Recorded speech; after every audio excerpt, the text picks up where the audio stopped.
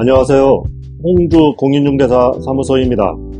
오늘은 산자락에 편안하게 자리 잡은 멋진 한옥을 한 채 소개합니다. 이곳은 충남 예산군 대흥면 교촌리인데요. 충남의 명산 봉수산 자락에 자리하고 있습니다. 전면에는 멀리 예당 저수지의 멋진 풍광을 내 집 정원에서 볼 수 있는 집도 주변 풍경도 멋진 주택입니다. 계획관리지역의 지목대지 1676제곱미터 약 507평 한 필지에 주택은 전체 용적률 적용 면적 165.54제곱미터 약 50평으로 2007년 3월 사용 승인된 일반 목구조 정통 한옥입니다. 벽체는 황토로 되어 있으며 대돌보, 석가래, 기둥과 기와까지 제대로 잘 지은 집입니다. 본체는 면적 115.71제곱미터, 약 35평으로 방향은 거실 기준 동향에 두 개의 방과 한 개의 욕실, 거실, 주방, 작은 방으로 되어 있는 수납 공간의 구조이며 별채는 아궁이가 있는 황토 벽돌의 원룸형 찜질방과 그 옆으로 심야 보일러실이 있습니다. 생활용수는 지하수를 사용합니다. 옆에는 면적 9.18제곱미터, 약 2.8평의 일반 목 구조 정자가 멋지게 자리 잡고 있습니다. 계절 좋을 때 전면의 예당호 풍경을 바라보며 좋은 사람들과 담소하기 좋은 곳입니다. 먹과 풍류를 즐길 수 있는 이 멋진 한옥의 매매가는 4억 5천만 원입니다. 이렇게 제대로 지어진 한옥은 건축비도 만만치 않음을 인지하시고 이제 화면으로 함께 보실까요? 상공에서 보니 예당호의 멋진 풍광과 인근 마을의 평온한 모습이 한눈에 당깁니다. 마을을 감싸고 있는 낮은 산자락이 이제 실록의 계절을 지나 녹음 짙은 숲으로 변신 중이네요. 이 산자락에 편안하게 안긴 멋진 한옥이 소개해 드릴 곳입니다. 함께 마을을 이루는 시골집들의 모습이 평온하네요. 뒤편으로 낮은 야산이 받쳐주고 점점 짙어지는 녹음 안에 예쁜 한옥이 담겨 있습니다. 뒤편에 심어놓은 관목, 마당 잔디와 키 작은 정원수, 붉게 타오르는 연산홍이 마치 그림 같습니다. 본체와 별체, 그 옆의 멋진 정자가 주변 녹음과 어우러져 멋진 그림을 만들어냅니다. 뒤편 산에 자리 잡은 산소들은 숲에 가려 잘 보이지 않습니다. 이곳 교통 등 주변 여건을 살펴보면 시내버스 정류장은 도보 10분 정도이고 연사모소와 각급 학교, 의좋은 형제공원, 봉수산 자연휴양림, 예당호 관광지 등은 자차 5분 내외 거리로 도보로도 20분 내외면 접근 가능합니다. 예산군청, 터미널, 역, 병원, 예산시장 등 예산 시내는 자차 25분 내외이며 인근의 예산 일반 산업단지, 농공단지 등은 자차 10분 내의 거리로 이곳이 근무처인 분에게 좋습니다. 예산 톨게이트는 15분 정도, 조만간 개통할 서부 내륙 고속도로 예당호 톨게이트, 명칭은 미정 5분 거리입니다. 집 자체가 높은 지대에 있어 정원에서 전면 700m 정도 거리의 예당호가 한눈에 들어옵니다. 뒤편 산에는 직선거리 500m 정도의 서부 내륙 고속도로 터널 입구가 있으나 큰 영향은 없습니다. 마을 자체가 슬로우시티 한옥마을로 지정되어 있어 간간히 한옥이 보이고 분위기 자체가 여유롭고 고즈넉합니다. 이제 지상에서 주택으로 가까이 가보겠습니다. 깔끔하게 시멘트 포장이 되어 있는 이 길은 이 집으로만 향하는 길입니다. 길 옆의 키 작은 나무는 직접 심고 가꾸었다고 합니다. 집으로 들어서기 전 아래쪽에 있는 길을 따라가면 또 다른 출입구가 나오는데 이곳에도 대문을 달았습니다. 상공에서 보았던 붉은 연산홍이 길 따라 피어 있네요.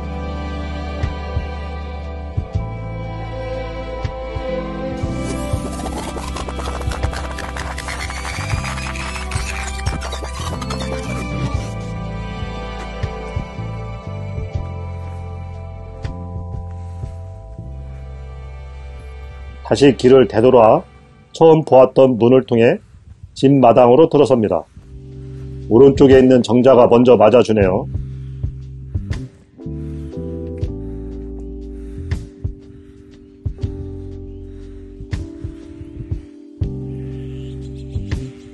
나무 사이로 멀리 예당호가 보입니다.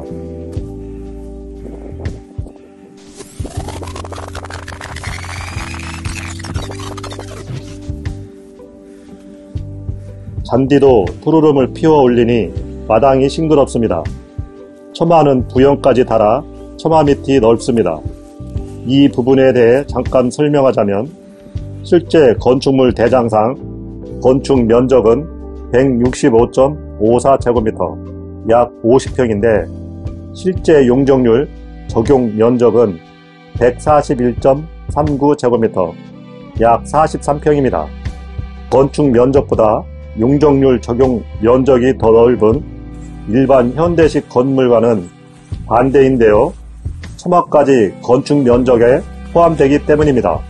처마에 도연까지 올린다는 것은 기와의 무게를 지탱할 수 있도록 잘 지었다는 증거라고 합니다.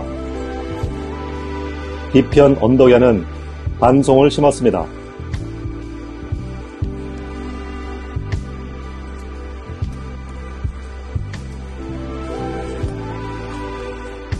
본체 집 주변으로 둘러있는 기단도 황토로 되어 있는데 경계석은 자연석으로 둘렀습니다. 명칭은 죽담이라고 하네요. 마당으로 들어섰을 때 처음 보았던 정자입니다.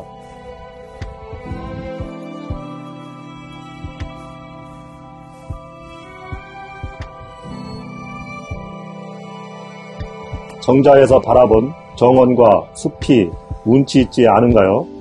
맑은 날씨와 어우러지니 더욱 좋습니다만 비가 와도 그 나름의 운치가 있을 듯 합니다.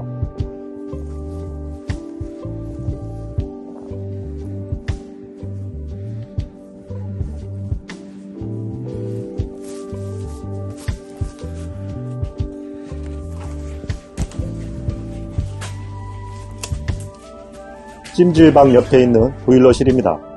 천장은 역시 전통 한옥 형식입니다. 난방은 심야 보일러인데 세탁실로도 사용하고 있습니다. 바로 옆의 찜질방은 화목 아궁이로 구들 난방을 하는 원룸형 구조입니다.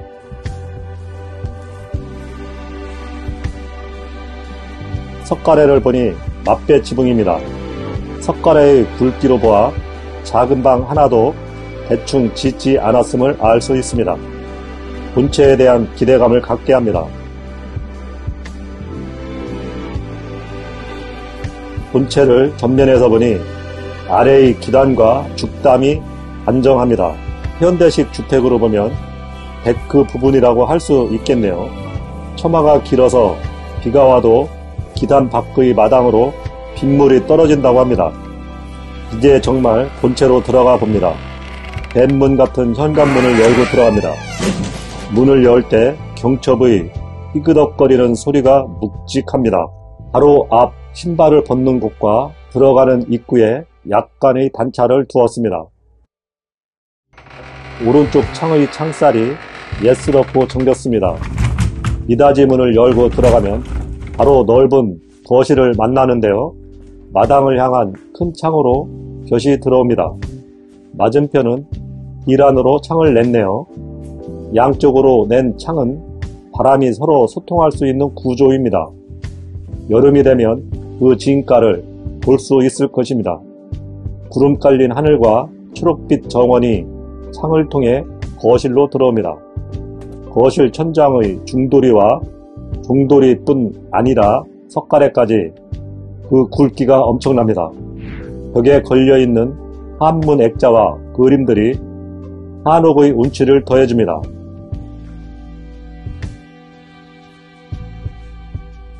거실 왼쪽 첫 번째 공간은 주방입니다. 미닫이 문을 달아 공간을 분리했습니다. 일자형 싱크대에 치사는 LPG입니다.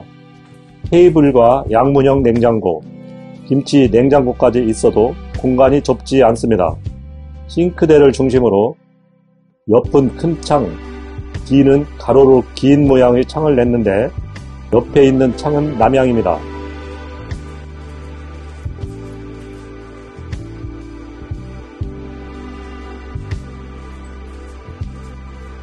주방 앞에서 바라본 거실이 꽤 넓습니다. 주방 바로 옆의 작은 방입니다. 방은 크지 않네요. 창은 남향으로 냈습니다. 이곳에서도 정원을 바라볼 수 있습니다.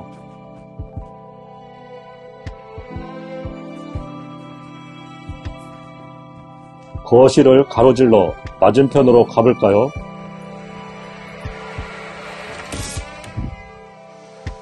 이 방이 안방입니다. 붙박이장이 설치되어 있습니다. 창은 동향입니다.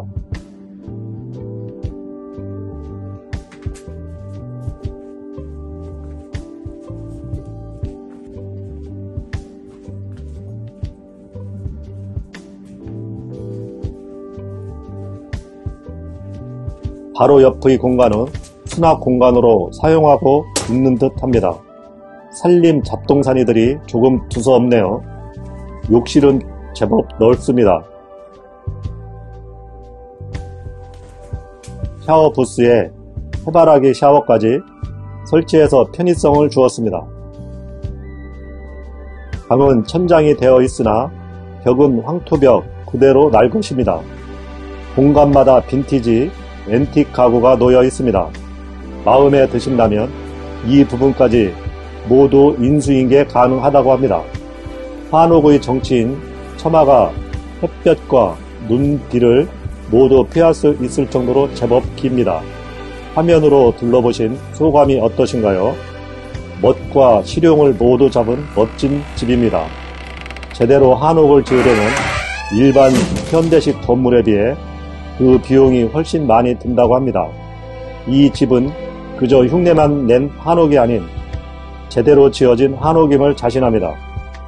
500평이 넘는 토지에 전통적 형식을 살려 제대로 지은 한옥에 4억 5천만 원이라는 가격은 굉장히 저렴한 금액입니다. 이런 보석을 알아볼 수 있는 분을 기다립니다. 고맙습니다.